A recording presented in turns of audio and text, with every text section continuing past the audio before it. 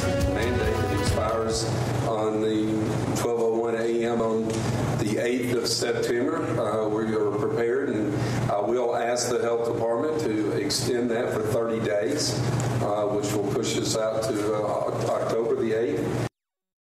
The mask mandate's been in effect since July 10th, and it's been in place almost two months. But now, as you just heard, Mayor Coppinger has now extended the mandate. Good evening. I'm Josh Roe. And I'm Latricia Thomas. Today, the mayor brought together a group of local medical and business leaders to voice their support for extending the mandate.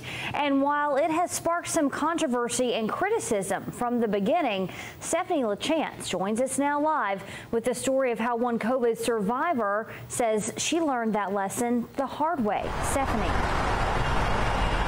Good evening, Latricia and Josh. Today, doctors and business leaders in the community gathered to extend their support for this extended mask mandate. One COVID 19 survivor I spoke to says everybody needs to do their part and wear the mask. Karen Oliver and her husband are COVID 19 survivors.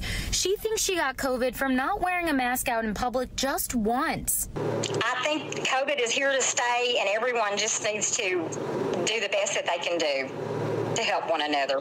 One by one, local doctors pledged their support for extending Hamilton County's mask mandate. Mask is simply a tool. Keep everything moving and keep the public safe. Work out how we can go about our lives as much as possible safely. Before the mayor they've been advising made it official. I will ask the health department to extend that for 30 days. It's not going away anytime soon. Dr. Mark Anderson is an infectious disease specialist at CHI Memorial Hospital. He knows wearing a mask isn't always popular. We have to still continue to try to prevent spread, but not shut down our society. That unpopularity apparent on social media.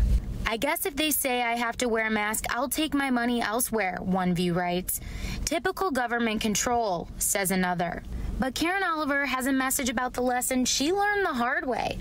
They need to take a good look around and ask people that have been through COVID, that are survivors from COVID, and be more conscientious about wearing the mask.